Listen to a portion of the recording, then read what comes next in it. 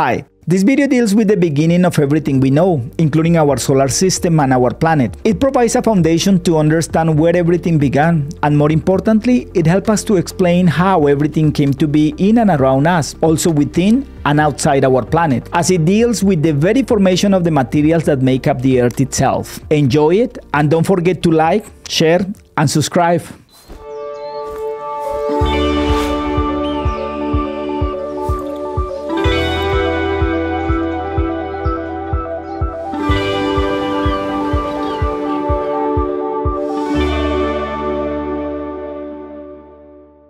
There is nothing better than a night out camping in the desert, outside of light pollution and beyond the trappings of our noisy modern life, where distractions are everywhere. Out here, the silence can be overwhelming so that there is no other option than contemplate in amazement the objects in the sky above us. No wonder why our ancestors were so good at observing the skies. It's just beautiful. Similarly, as we amaze today as well as our ancestors, I can't stop thinking about one question probably they also had. That is, how everything began. How the configuration of the objects in the sky, and in a broader sense, the very existence of our Earth came to be. But more importantly, now I understand why the sky is an object of reverence or divinity and why our ancestors dedicated so much to relate their existence on the planet's surface to what they see above in the stars and other celestial bodies. It's amazing that nowadays, even with our modern technology that allowed us to see farther away and at a better resolution like never before, we forget that we share the same composition of what we see in the skies. After all, we are all stardust. How and when did the universe and all the objects in the skies, including the galaxies and planets, came into existence? The fascination for the night sky and the understanding of the universe dates back far away into prehistory. The archaeological record is rich in examples of how different cultures studied the universe to the point that it drew different cultures and religions to reveal the celestial bodies and to the arising of the belief system in which the stars and their arrangements influence and govern our life. It is amazing how our ancestors knew so much about the skies and the celestial bodies, often with astonishing accuracy. The positions of the stars were recorded on a backdrop of seemingly fixed stars that acted as the coordinates of the celestial map upon which our ancestors plotted the planetary positions. However, questions about how and the universe came into existence prevailed, and were locally answered alluding to mythology and astrological precepts. Okay,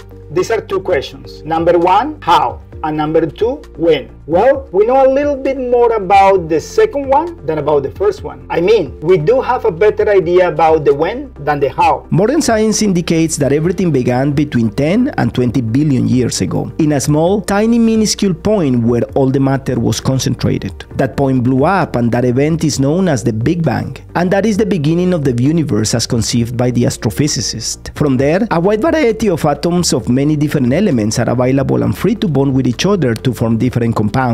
The evolution of the universe is conceived today by astrophysicists as an expanding system of galaxies, stars, and planets. To understand how everything began, we must contemplate time spans and forces that are astonishingly short and unbelievably strong. Immediately following the Big Bang and during the earliest stage of our universe occurred almost at the very same time of the beginning of everything, the first eon of cosmic time, the Planckian, named after Max Planck, followed by the second eon of cosmic time, the Gamovian, named after George Gamow. We know quite a bit more about the second one, the Gamovian, because in the beginning during the Planckian, temperatures were too high for matter to be stable and everything happened very fast as it was a very unstable state that even astrophysicists do not know with certainty if the fundamental constants that work in our world like G and C even worked during that short span of time. According to the astrophysicist, during the first part of the Gamovian, the four forces of nation were part of a single sort of superforce. As the universe expanded from a tiny little dot into a small sphere,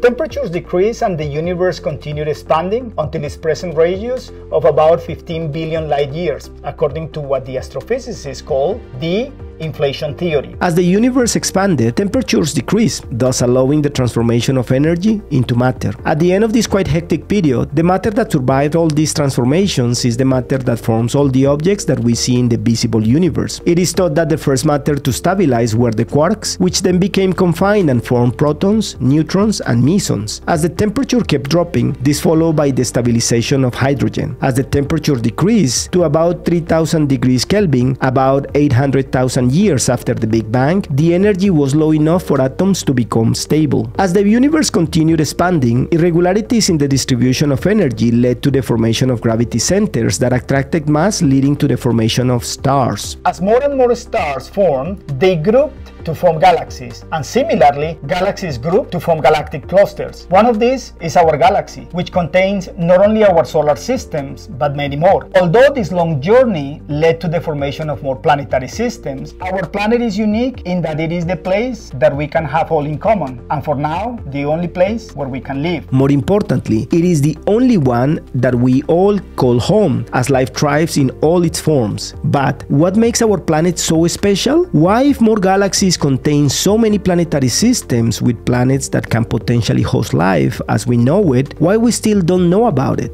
Good questions. We will talk more about them in a little bit. Minerals and rocks are like all matter composed of minute building blocks called atoms. The smallest particles that cannot be chemically split. Atoms in turn contain even smaller particles, protons and neutrons located in a central nucleus that is surrounded by electrons. Most of the atoms in the universe, except hydrogen and helium, were created inside massive stars by nuclear fusion and released into interstellar space during hot, fiery supernova explosions. As this ejected material cooled, the newly formed nuclei attracted electrons to complete their atomic structure. At the temperatures found in the Earth's surface, all three atoms, those not bonded to other atoms, have a full complement of electrons, one for each proton in the nucleus. The end of the second eon of cosmic time is culminated by the formation of our planet about 4.6 billion years ago. At this stage, the elements that make the Earth combine and we enter the first era of the Precambrian Eon. The Hadean period, named after Hades, the Greek god of hell, lasted approximately 600 million years and was followed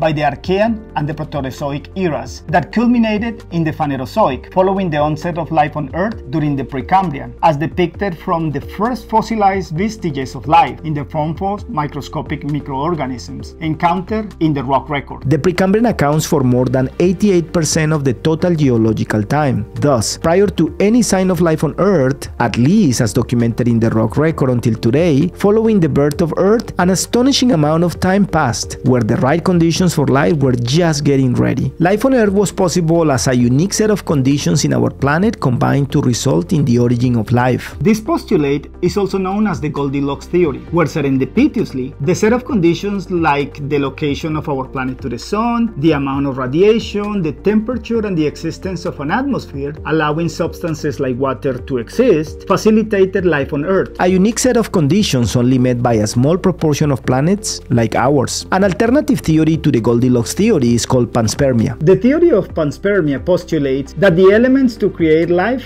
came from outside our planet. This could have traveled in asteroids and meteorites to find in the Earth the perfect conditions to begin life as we know it. All the components, that is, the elements and molecules that constitute the building blocks of life, are everywhere in the universe. It's about how they combine to create what we call life. Today we conceive the Earth as being one entity interconnected to a much larger ecosystem of different parts that interact and are affected by what happens in our planetary surroundings. A good example is the fact that we are part of a cosmic ecosystems that can be affected by one or multiple parts. In this context, we are subject to changes in the solar radiation due to solar bursts, comets, and meteorite impacts that can influence the path of evolution and atmospheric systems on Earth despite being far away or coming from unknown areas of space. No wonder why our ancestors were so aware of the skies and how cycles on the celestial canopy can mark seasons or mark events that will exert any effect on their life. From prehistory, our our curiosity inspired the study of the universe. As humanity, it reminds me of something that a gentleman that I still admire very much said. Our passion for learning is our tool for survival. This video deals primarily with the formation of the universe and how our planet came to be what it is today. While preparing it, I could not stop wondering how immense the distances and time spans we are dealing with when we talk about the universe's origin and its evolution. Similarly, when we are dealing with planet Earth's formation, it is mind-boggling the astonishing astonishing amount of time spanning between the formation of our planet and the apparition of human as a species.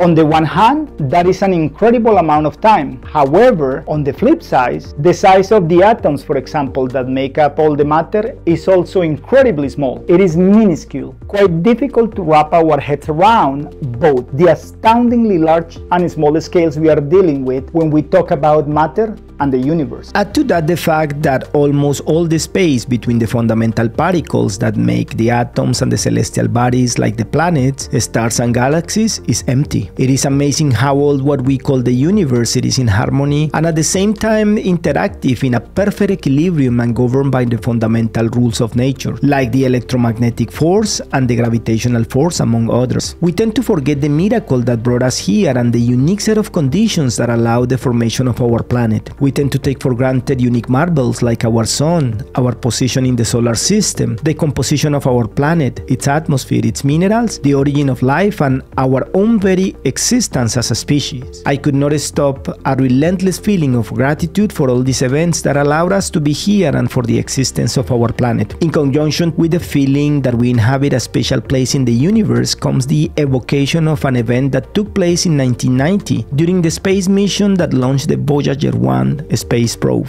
From a distance of approximately 6 billion kilometers, that is nearly 3.7 billion miles away, the Voyager 1 captured a remarkable image of Earth. Against the vast expanse of space, our planet appeared as a tiny speck, a pale blue dot. A remarkable image that continues to humble humanity and was made famous by Carl Sagan. I will leave the link to the description to the video with the fragment of Carl Sagan's reflection published in 1994's book titled The Pale Blue Dot, and a scene in 2014 Cosmos, A Space-Time Odyssey. The pale blue dot, our planet, appears as a tiny speck amidst the dark to give us a salient reminder of humanity's place in the cosmos. It goes like this. Our planet is a lonely speck in the great enveloping cosmic dark. In our obscurity, in all this vastness, there is no hint that help will come from elsewhere to save us from ourselves.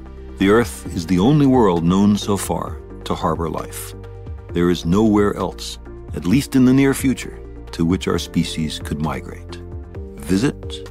Yes. Settle? Not yet. Like it or not, for the moment, the Earth is where we make our stand.